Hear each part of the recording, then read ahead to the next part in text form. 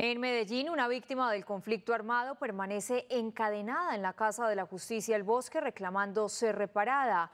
La mujer insiste en estar atada como señal de protesta hasta que no solucionen su caso.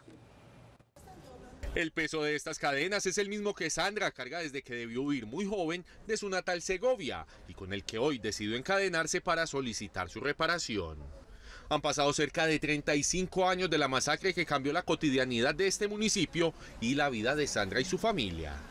Pues del 2014 están diciendo que nos van a reparar, pero luego con lo de la pandemia, que los recursos de la plata de la reparación que estábamos para que nos repararan en el 2021 se gastó en lo de las vacunas. Entonces que ya tenemos que esperar hasta el 2030.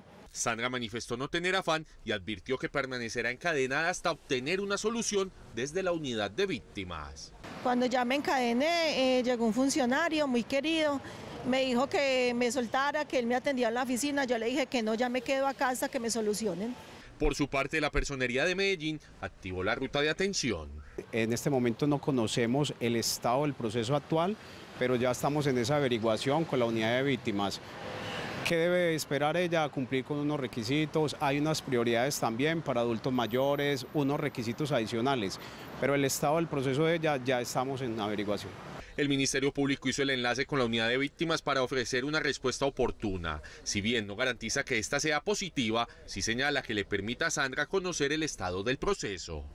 Justo la unidad de víctimas y la unidad de búsqueda de personas dadas por desaparecidas firmaron un memorando de entendimiento para aunar esfuerzos que permitan una comunicación entre el registro de víctimas y el registro de las personas que están buscando a sus seres queridos. Este memorando agilizará la búsqueda de las personas dadas por desaparecidas en el contexto y en razón del conflicto armado y así evitar el daño antijurídico un acuerdo que llevara a poder tener una comunicación entre el registro de víctimas y el registro de las personas que están buscando a sus seres queridos.